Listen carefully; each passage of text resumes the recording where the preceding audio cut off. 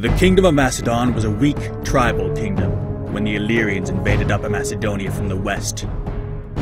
King Perdiccas III mobilized the entire Macedonian army and marched forth to stop them. The army fought bravely, but were no match for the battle-hardened hoplites of the Illyrian king, Bardylis. In the thick of battle, Perdiccas fell to an enemy's spear, and his army was slaughtered around him. With news of the defeat, the king's younger brother Philip returned from fighting in the east.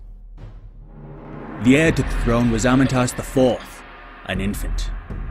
The Macedons gathered to elect another king in his stead. Philip's half-brother Archelaus made a claim to the throne, but Philip proposed an alternative to supplanting the heir.